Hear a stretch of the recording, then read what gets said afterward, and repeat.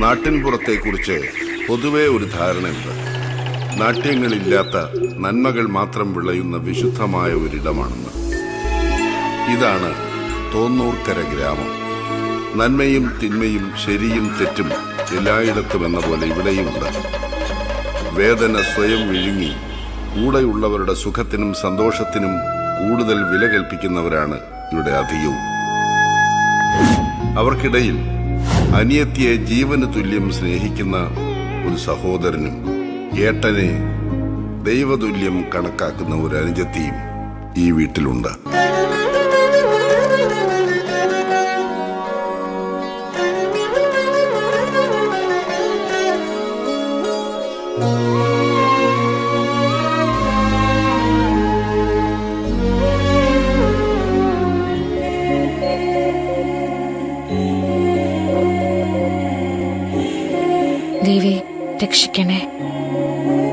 പറയുന്നതാ.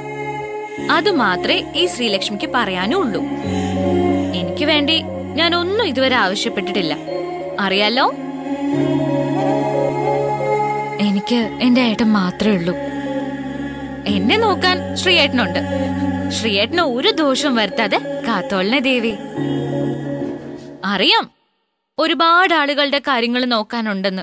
അതിന്റെ ഇടയിൽ എന്റെ ശ്രീയേട്ടന്റെ കാര്യം നോക്കാൻ മറന്നാലുണ്ടല്ലോ. ദേവിയാണെന്നൊന്നും ഞാൻ നോക്കില്ല. ലച്ചു നീ ആരെ ഈ വരട്ടണേ ദേവി കോപിച്ചാൽ അറിയാലോ? ഏയ് ദേവി കോപിക്കില്ല. എന്റെ ദൈവം ശ്രീയേട്ടനാണെന്ന് ദേവിക്ക് അറിയാം മതി മതി. എനിക്ക് കേക്കണ്ട നിന്റെ പേടിക്കണ്ട പത്മാവതി അമ്മ. ഞങ്ങൾ ഭയങ്കര ഫ്രണ്ട്സാ സൗകര്യം കിട്ടുമ്പോ അച്ചമ്മയ്ക്കൊന്ന് പറഞ്ഞു കൊടുത്തേക്കണേ. നമ്മുടെ കാര്യങ്ങൾ. നിന്നോട് തർക്കിക്കാൻ ഞാൻ ആളല്ല. നീ ഏട്ടനെ വിളിച്ച് കാപ്പി കൊടുക്കാൻ നോക്കൂ.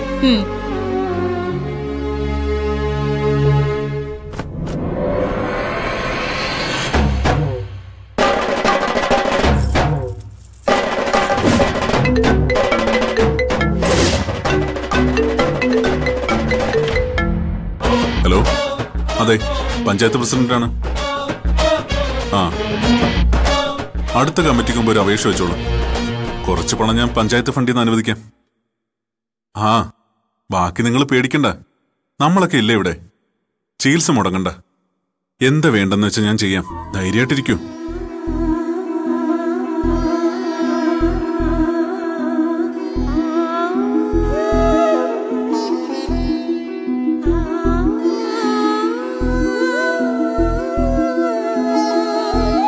ദേവി എന്റെ ലച്ചുവിനെ കാത്തു രക്ഷിക്കണേ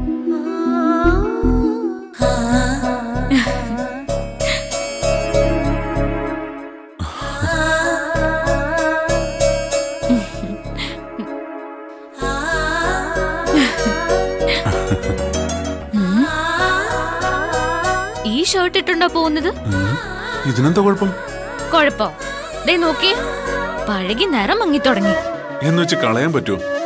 ഒരിടത്തും പിന്നീട്ടും കീറിയിട്ടും പോലുമില്ല. എന്നൊന്നും പറഞ്ഞാ പറ്റില്ല. ഒന്നുമില്ലെങ്കിലും ഏട്ടനൊരു പഞ്ചായത്ത് പ്രസിഡന്റ് അല്ലേ? ആളുകൾ ശ്രദ്ധിക്കും. ഞാൻ പുതിയത് തേച്ചു വെച്ചിട്ടുണ്ട്. അതിട്ടോണ്ട് പോയാ മതി. ഇപ്പൊ കൊണ്ടുവരാം.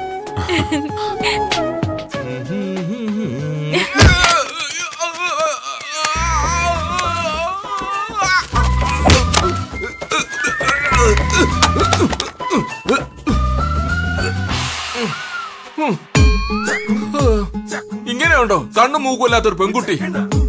അത് ആൺകുട്ടിയോ? എനിക്ക് സംശയമുണ്ട് എന്തായാലും.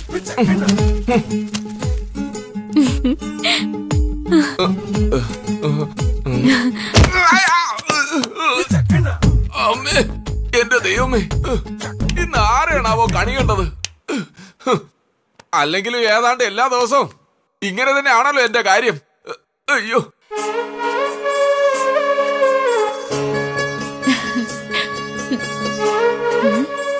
ഇതുവരെ മാറിയില്ലേ? വേഗം മാറ്.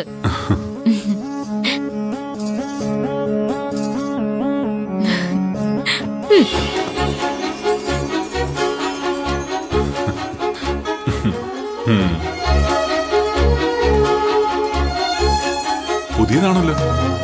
കഴിഞ്ഞ തവണ എനിക്ക് ഡ്രസ് എടുക്കാൻ ടൗണിൽ പോയപ്പോ ഞാൻ സെലക്ട് ചെയ്തതാ. ഏട്ടനത് ശ്രദ്ധിച്ചത് പോലും ഇല്ല നന്നായിട്ടില്ലേ? ആ അത് പിന്നെ ലച്ചുന്റെ സെലക്ഷൻ അല്ലേ? എങ്ങനെയാ മോശമാവുക എന്നാലും നന്നായിന്ന് തെളിച്ചു പറയാൻ വയ്യ. എനിക്ക് എല്ലാ കാര്യത്തിലും പിശുക്കുണ്ടെന്ന് നിനക്ക് അറിഞ്ഞൂടെ ലച്ചു?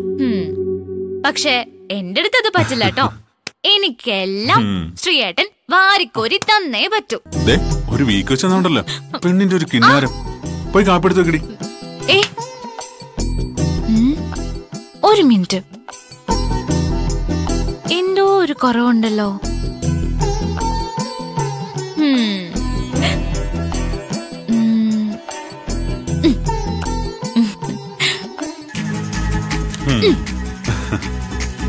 ഇപ്പോഴാ ഒരു പഞ്ചായത്ത് പ്രസിഡന്റ് ആയത്. അല്ലാതെ നാട്ടുകാർ വോട്ട് ചെയ്ത് ജയിപ്പിച്ചോണ്ടല്ലേ വാടി വേണേ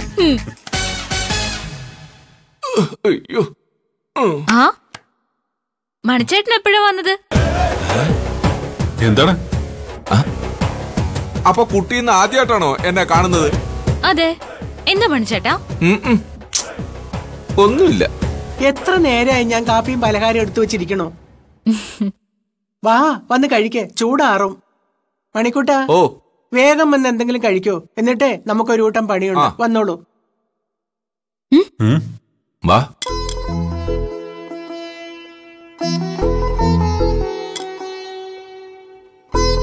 മണി നീ കഴിക്കുന്നില്ലേ? എനിക്കിപ്പോ ഒന്നും വേണ്ട. മേലൊക്കെ ഒന്ന് അനങ്ങിയാലേ കാര്യമായിട്ട് എന്തെങ്കിലുമൊക്കെ ഇറങ്ങൂ. ഏയ് മതി മതി. ഏയ് ഒരെണ്ണം കൂടി കഴിക്കേ ശ്രീയേട്ടാ. മതി ധാരാളമായി എനിക്ക്. നീ കൂടെ കഴിക്ക. ഇന്ന് എവിടെയാ? നിനക്ക് മീറ്റിംഗ് ഉണ്ടെന്ന് പറഞ്ഞത്. മീറ്റിംഗ് അല്ല ചമ്മേ ഒരു കേസിന്റെ മധ്യസ്ഥ ചർച്ചയാ. നമ്മൾ ഇടപെട്ട തീരുന്നാണെങ്കിൽ തീർന്നു പോട്ടെ. കേസും കോടതി ഒഴിവായി കിട്ടുമല്ലോ. കാലം വല്ലാണ്ട് മാറിപ്പോയി. എവിടെ നോക്കിയാലും വാശിയും മത്സരവുമാ കണ്ണടയ്ക്കുന്നത് വരെ ഉള്ളതുകൊണ്ട് ഓണം പോലെ ഒന്ന് സമാധാനിച്ചുകൂടെ ഈ മനുഷ്യർക്ക്? ഏട്ടാ കഴിക്കേ. ഹേയ് മതി മതി.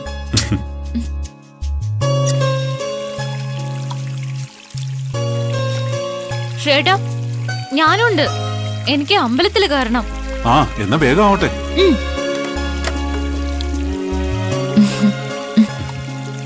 ആ മണിക്കുട്ട കൃഷിഭവനിൽ വളർത്തിയിട്ടുണ്ട് അത് എടുക്കാനുള്ള ഏർപ്പാടുണ്ടാക്കണേ ഓ ശരി. ഞാൻ ഓടിക്കട്ടെ വണ്ടി? ലച്ചു കളിക്കാതെ കീത. ദാ. ആ.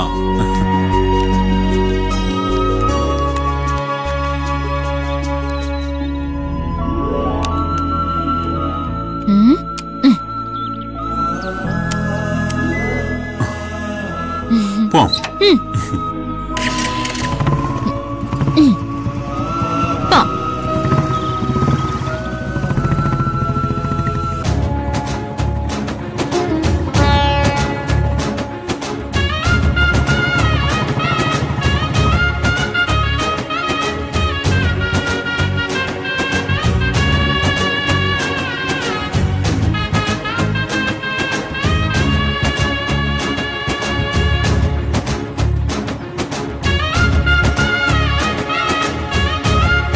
അതാ നമ്മുടെ പ്രസിഡന്റ് വരുന്നു.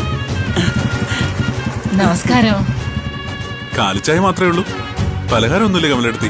അല്ലെങ്കിൽ ഇപ്പൊ ഒരു സംസാരം ഉണ്ട് പ്രസിഡന്റ്. ഞങ്ങൾ ചായയും കുടിച്ച് പലഹാരവും കഴിച്ച് പരദൂഷണവും പറഞ്ഞു നടക്കുകയാണെന്ന് ആളുകൾക്ക് എന്താ പറഞ്ഞുകൂടാത്തത്? നിങ്ങൾ അവന്ന് മുഖവിലേക്ക് എടുക്കണ്ട. മുഖവിലേക്ക് എടുത്തിട്ടല്ല. കാര്യം പറയുമ്പോ എല്ലാം പറയണമല്ലോ. ശരി ശരി. എന്നാ പണി കിടക്കട്ടെ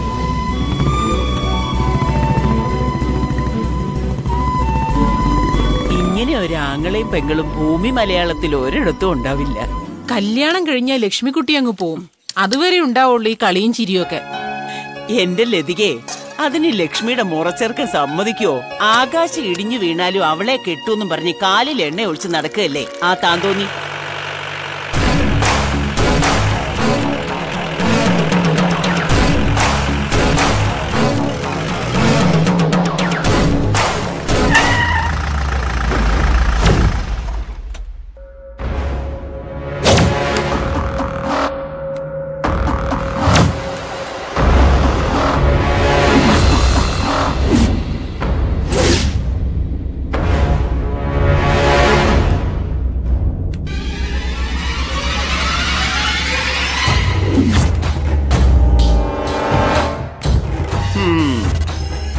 പ്രസിഡന്റും പരിവാരങ്ങളും ഒന്നും എത്തിയിട്ടില്ലെന്നാ തോന്നുന്നത്. വാ.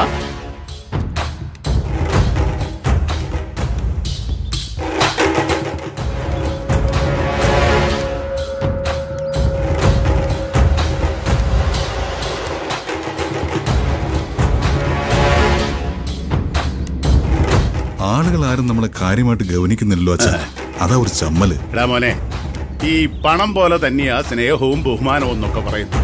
അങ്ങോട്ട് കൊടുത്താലേ അത് ഇങ്ങോട്ട് തിരിച്ചു കിട്ടൂ. നമ്മളാർക്കും കൊടുക്കുന്നുമില്ല ആരും നമുക്ക് തിരിച്ചു തരുന്നുമില്ല. വീട്ടുകളേടാ ഇത്തരം സെന്റിമെന്റ്സ് ഒക്കെ.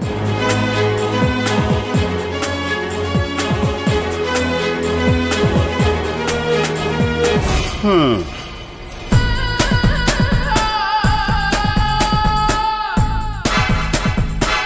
ദേ വരുന്നടാ പ്രസിഡന്റിന്റെ കൈമണി. മോഹനമ്മാവൻ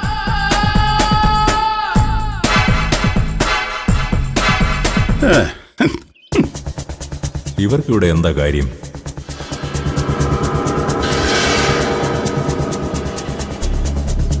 എന്താ രണ്ടുപേരും ഇവിടെ? ആ ചർച്ചയ്ക്ക് ഞങ്ങളെയും വിളിച്ചിട്ടുണ്ട്. സജിത്ത് എന്റെ ഫ്രണ്ടാ അവനൊരു പ്രശ്നം വന്നാ മിണ്ടാതിരിക്കാൻ പറ്റില്ല അതെ നിന്ന് സമയം കളയാതെ പോയി കാര്യം നടത്താൻ നോക്ക്. ഞങ്ങൾക്ക് പോയിട്ട് വേറെ പണിയുള്ളതാ. ഏ.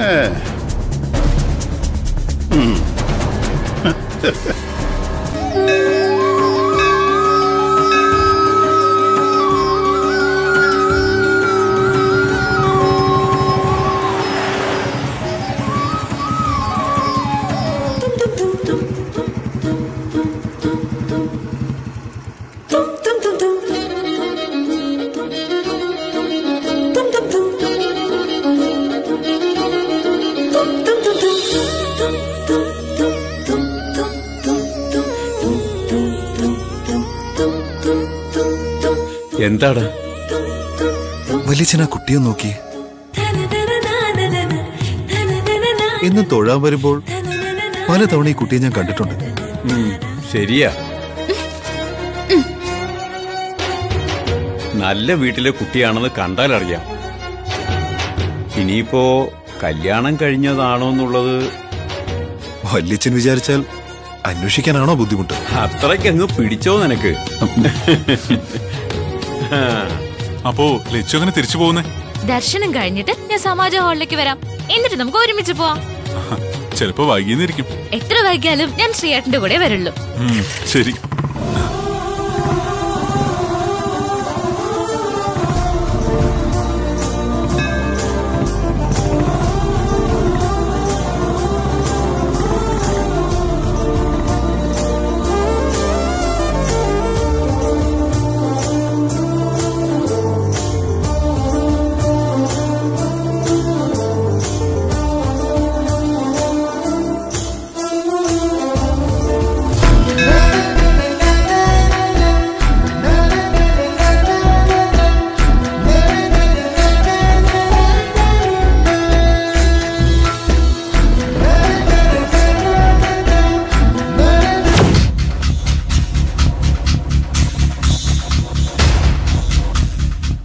ഉള്ള കാര്യം പറയാൻ എനിക്കൊരു മടിയുമില്ല. ആരെയും പേടിയുമില്ല. എന്റെ ഏറ്റവും അടുത്ത സുഹൃത്താ സജിത്ത്. കൂടാതെ ഞങ്ങൾ തമ്മിൽ ചില ബിസിനസ്സുകളും ഉണ്ട്. അതെ. പുഴക്കരയിലുള്ള ഈ ഭൂമി ഇവന് പണയപ്പെടുത്തിയിട്ട് അവന്റെ ചെറിയമ്മ കുറെ പണം കൈപ്പറ്റിയിട്ടുണ്ട്. ഭർത്താവിന്റെ ചികിത്സയ്ക്കും മൂത്ത മകളുടെ കല്യാണത്തിനും വാങ്ങിയത് വേറെ. വാങ്ങിയ പണവും പലിശയും തീർക്കാതെ ഇപ്പൊ ഇളയമാളുടെ കല്യാണത്തിന് വിൽക്കാനായി ആ ഭൂമിയുടെ ആധാരം തിരിച്ചു വേണമെന്ന് പറയുന്നത് എവിടുത്തെ ന്യായമാ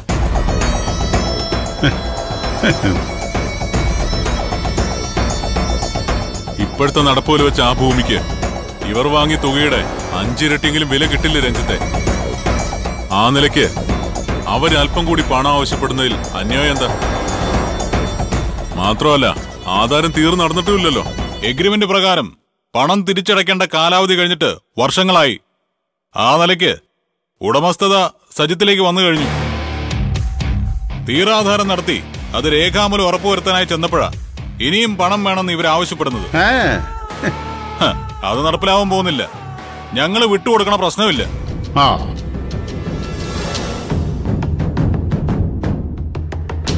ഇവിടത്തെ തീർപ്പിന്റെ ഒരു ആവശ്യമില്ല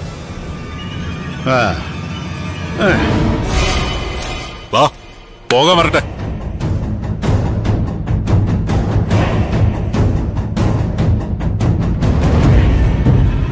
വെല്ലുവിളിക്കാനും ഭീഷണിപ്പെടുത്താനും ഇത് ചന്തയല്ല. ന്യായാന്യായങ്ങൾ നിരത്തി തീർപ്പ് കൽപ്പിക്കാൻ കോടതിയുമല്ല മനുഷ്യർ തമ്മിലുള്ള പ്രശ്നം ആ നിലയ്ക്ക് വലുതാക്കി വഷളാക്കാതിരിക്കാൻ കഴിയുമെങ്കിൽ ഒരു മധ്യസ്ഥ ചർച്ച. അതിനാ ഇവിടെ ഒന്ന് സംസാരിക്കാന്ന് പറഞ്ഞത്.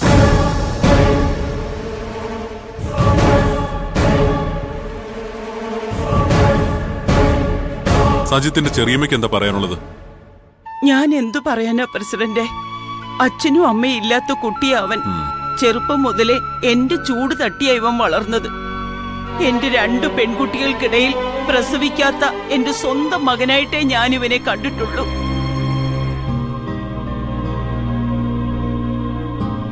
വലുതായി വലിയ ബിസിനസ് ഒക്കെ ആയപ്പോ എന്റെ മൂത്ത മകളുടെ കല്യാണത്തിനും എന്റെ ഭർത്താവിന്റെ ചികിത്സയ്ക്കും ഇവൻ കുറച്ച് പണം തന്നു എന്നുള്ളത് നേര.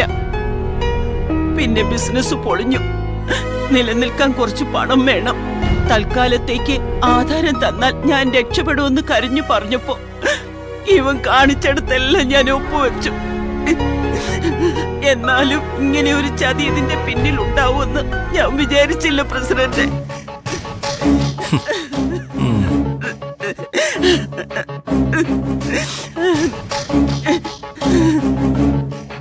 നിയമപ്രകാരം ആ സ്ഥലം ഇപ്പോ സജിത്തിന്റെ കയ്യിലായിരിക്കും. കോടതി പോയാ ചിലപ്പോ അത് സ്വന്തമാക്കാനും കഴിഞ്ഞേക്കും. പക്ഷേ ഇപ്പൊ ഇവിടെ കേട്ട ഈ കരച്ചിലിനും കണ്ണീരിനും പകരം താൻ എന്ത് നൽകി സമാധാനിപ്പിക്കും സജിത്തെ? പ്രസവിച്ചില്ലെങ്കിലും സജിത്തിന്റെ ചെറിയമ്മ അന്യകുട്ടിയായിട്ടല്ലല്ലോ വളർത്തിയത്. അത് സജിത്തിനും അറിയാം. ദൈവം അമ്മമാരെ സൃഷ്ടിച്ചത് അവരുടെ കണ്ണിലൂടെ നമുക്ക് ദൈവത്തെ കാണാനാ. ആ അമ്മ അധികകാലം നമ്മുടെ കൂടെ കാണില്ല എന്നതുകൊണ്ട് നമ്മുടെ അനിയത്തിയും ചേച്ചിയൊക്കെയായി പെൺകുട്ടികളെ ഈ ഭൂമിയിലേക്ക് അയക്കുന്നത്. അവരുടെ കണ്ണീര് ഈ ഭൂമിയിൽ വീഴാതെ നോക്കേണ്ടത് നമ്മുടെ കടമയാ. അവരിന്ന് വെട്ടിപ്പിടിക്കാനല്ല വിട്ടുകൊടുക്കാനാ നമ്മൾ ശീലിക്കേണ്ടത്. വേണ്ടി വന്നാ നമുക്ക് സ്വന്തമായുള്ളത് മുഴുവനും. തത്വം പ്രസംഗിക്കാൻ കൊള്ളാം. ഈ മാതിരി ഗീർവാണങ്ങളൊക്കെ വല്ല ധ്യാന കേന്ദ്രത്തിൽ പോയി പറ സ്വയം നടപ്പിലാക്കാൻ പറ്റാത്ത കാര്യങ്ങൾ മറ്റുള്ളവരോട് പറയാൻ എളുപ്പവാ. ആര് പറഞ്ഞു? സ്വയം നടപ്പിലാക്കാൻ പറ്റില്ല എന്നാ പറ. ഇങ്ങനെ ഒരവസ്ഥ നിന്റെ അനിയത്തിക്ക് വന്നാൽ ഉള്ളത് ഈ പാതി നീ അവക്ക് കൊടുക്കുവോ? എന്തിനു പാതിയാക്കണം? എന്തിനിങ്ങനെ ഒരു അവസ്ഥ വരണം? പാരമ്പര്യമായി കിട്ടിയതും ഞാൻ ഉണ്ടാക്കിയതുമായ എല്ലാ സ്വത്തും എന്റെ അനുജത്തി ലച്ചുവിനുള്ളതാ. സജിത്തിനെ കൊണ്ട് ഇത് ചെയ്യിക്കുന്നത് മറ്റു ചിലരാണെന്നും ഇവിടെയുള്ളവർക്ക് അറിയാം ആട്ടിൻ തോലിട്ട് നടക്കുന്ന ചില ചെന്നായ്ക്കളുണ്ട്.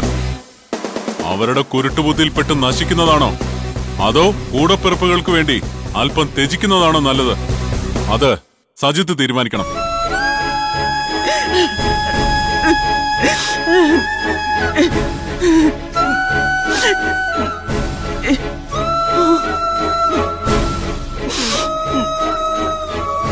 ചെറിയമ്മ എന്നോട് ക്ഷമിക്കണം.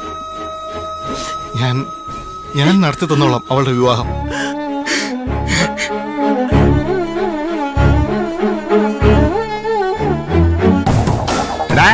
ഇനി എന്തിനാ അവിടെ നിൽക്കുന്നത്? പോകാം.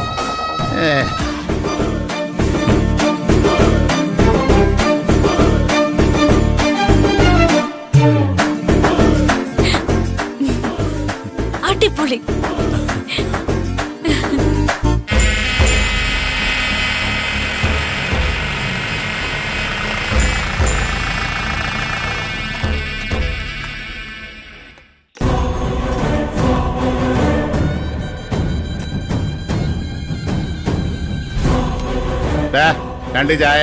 സ്ട്രോങ് അല്ലേ? ആ ഒന്ന് മധുരം കുറച്ചെടുത്താ മതി. ആയിക്കോട്ടെ.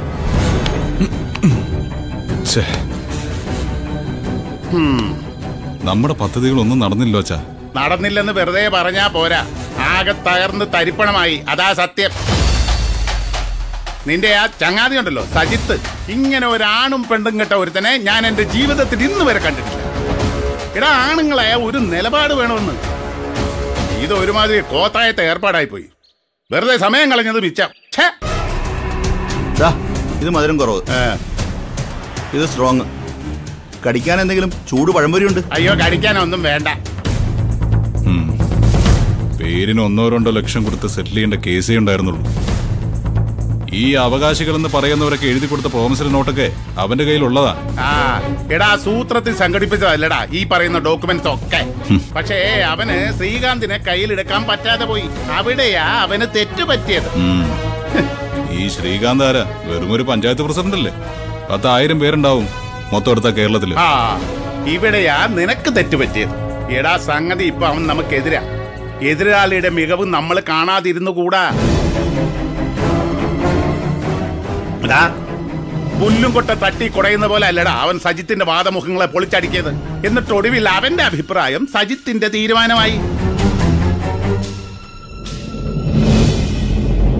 എടാ എല്ലാവരുടെ മുമ്പിൽ വെച്ച് പറയിപ്പിച്ച സാമർത്ഥ്യം ഉണ്ടല്ലോ. അതാണ് മാജിക് വെറുതെ അല്ല ഒരു മുന്നണിയുടെയും ഭാഗമാകാതെ അവൻ പഞ്ചായത്ത് പ്രസിഡന്റായിട്ട് വിലസുന്നത്. ഇത്ര വേഗം അച്ഛൻ കാലു മാറിയോ? എടാ മോനെ തണ്ടും തടിയും തന്റെ ഇടവും കൊണ്ട് മാത്രം ഇന്നത്തെ കാലത്ത് ജീവിക്കാൻ പറ്റില്ല. അതിന് നയം വേണം. കാര്യങ്ങൾ ബുദ്ധിപൂർവം ആസൂത്രണം ചെയ്ത് നടത്തിയെടുക്കാനുള്ള വൈദഗ്ധ്യവും വേണം. ആരെയും പിണക്കാതെ കൂടെ നിർത്താനുള്ള വൈഭവവും വേണം. ഓരോരുത്തരെ കൊണ്ടും അവരുടെ സ്വന്തമാണെന്ന് തോന്നിപ്പിക്കാനുള്ള മിടുക്ക് വേണം. ഉള്ള കാര്യം പറയാതിരുന്നിട്ട് എന്താടാ കാര്യം? ഇതൊക്കെ നിന്റെ ഭാവി അളിയനുണ്ട്. അതുകൊണ്ടാ അവന്റെ പെങ്ങളെ നിന്നെ കൊണ്ട് കെട്ടിക്കണമെന്ന് എനിക്ക് വാശി. എടാ അവൻ കൂടെ ഉണ്ടെങ്കിൽ നമ്മളിപ്പൊ കൊണ്ടു നടക്കുന്ന ഈ അല്ലറ ചില്ലറ ബിസിനസ് ഒക്കെ ഉണ്ടല്ലോ. കണ്ണടച്ച് തുറക്കുമ്പോഴേക്കും ഒരു വലിയ സാമ്രാജ്യമായിട്ട് മാറും. നമ്മുടെ പ്രസിഡന്റിനെ കുറിച്ചാ സംസാരം. മൂപ്പര് മന്ത്രി കസേര ഇരിക്കേണ്ട ആളാ. കഴിഞ്ഞ ആഴ്ച ഹെൽത്തുകാർ വന്ന് ഈ കട പൂട്ടിക്കുന്ന് പറഞ്ഞതാ. ഇത് പൂട്ടിയിട്ട് നമ്മൾ എവിടെ പോവാനാ? കാര്യം പറഞ്ഞപ്പോ പ്രസിഡന്റ് ഫോൺ എടുത്ത് ഒറ്റ വിളി. പിന്നെ അവർ ഈ വഴിക്കേ വന്നിട്ടില്ല. ഇന്നാ നിന്റെ ചായയുടെ കാശ്. വണ്ടി എടുക്കടാ.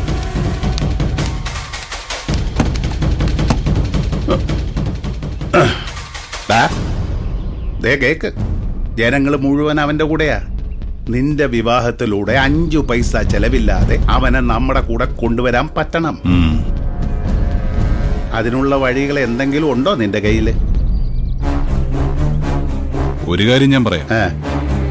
എന്ത് പ്രതിബന്ധങ്ങൾ ഉണ്ടായാലും ഒടുവിൽ അവളുടെ കഴുത്തിൽ താലി ചേർത്തുന്നത് ഞാനായിരിക്കും. അത് ഉറപ്പാ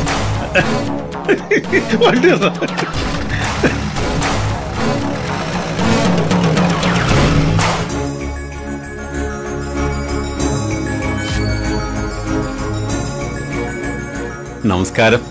നമസ്കാരം. ആരാ? ഞാൻ കയറി വരൂ. ആ.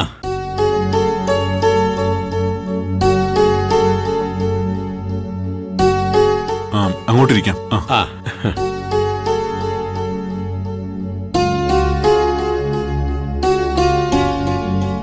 ആ മനസ്സിലായില്ല.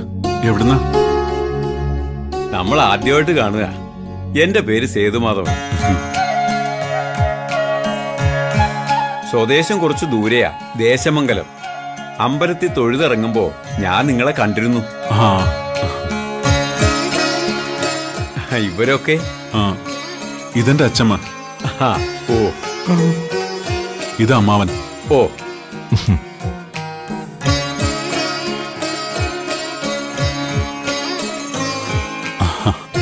എന്റെ അനിയത്തിയ ലക്ഷ്മി. അറിയാം. ഞാൻ പറഞ്ഞില്ലേ ക്ഷേത്രത്തിൽ വെച്ച് കണ്ട കാര്യം. ആ. ഇതുവരെ വന്ന കാര്യം പറഞ്ഞില്ല. ഓളെ കുടിക്കാൻ എന്തെങ്കിലും എടുക്ക. ഇപ്പൊ ഒന്നും വേണ്ട. സമയവും സന്ദർഭവും ഒത്തു വന്നാ എപ്പോ വേണേലും ഇതൊക്കെ ആവാലോ. വളച്ചു കെട്ടാതെ ഞാൻ കാര്യം പറയാം. എന്റെ അനിയന്റെ മൂത്ത മകൻ വിഷ്ണു അഗ്രികൾച്ചർ ഓഫീസറാണ് ജോലിക്ക് പോകേണ്ട കാര്യം ഉണ്ടായിട്ടല്ല. അനിയന് കൃഷിയാ. അത് നോക്കി നടത്തിച്ചാൽ തന്നെ ധാരാളം. സാമ്പത്തികം മാത്രമല്ല നാട്ടിൽ വലിയ നിലയും വിലയുള്ള ആളാ. അല്ല പറഞ്ഞു വരുന്നത്? അതെ കല്യാണക്കാരും തന്നെ.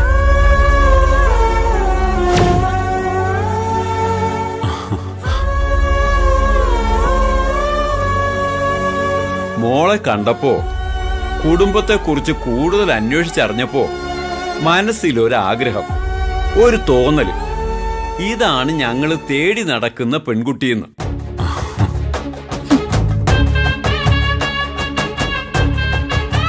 നിങ്ങളുടെ കുട്ടിക്ക് അവിടെ ഒരു കുറവും വരില്ല. പൊന്നുപോലെ ഞങ്ങൾ നോക്കും. ധൃതിയില്ല. എല്ലാം ആലോചിച്ചിട്ടും അന്വേഷിച്ചിട്ടും മതി. സമ്മതമാണെങ്കിൽ നല്ലൊരു ദിവസം നോക്കി. ഞങ്ങൾ പെണ്ണ് കാണാൻ വന്നോട്ടെ.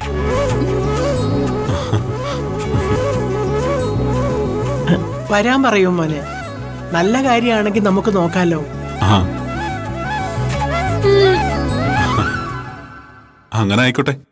വരുന്ന വിവരം ഒന്ന് മുൻകൂട്ടി അറിയിച്ചാൽ നന്നായിരുന്നു.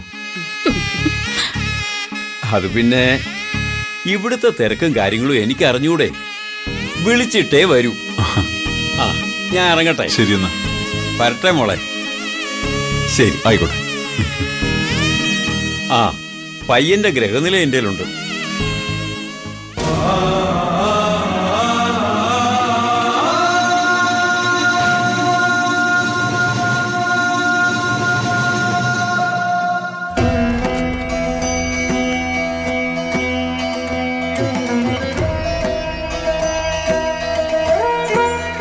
ജാതകങ്ങൾ തമ്മിൽ പാപസാമ്യവും നക്ഷത്ര പൊരുത്തവും ആവശ്യത്തിനുണ്ട്. ഈ ആലോചനയുമായി മുന്നോട്ട് പോകാവുന്നതേ ഉള്ളൂ. വലിയ സന്തോഷമായി പണിക്കര്. കേൾക്കാൻ ആഗ്രഹിച്ച കാര്യം തന്നെയാ അങ്ങ് പറഞ്ഞത്. ആ ഇനി എന്തെങ്കിലും അറിയാനുണ്ടോ മോളുടെ ജാതകം നോക്കി എന്തെങ്കിലും സമയദോഷം മറ്റോ ഉണ്ടോന്ന്? ആ അതിനെന്താ? ആവാം.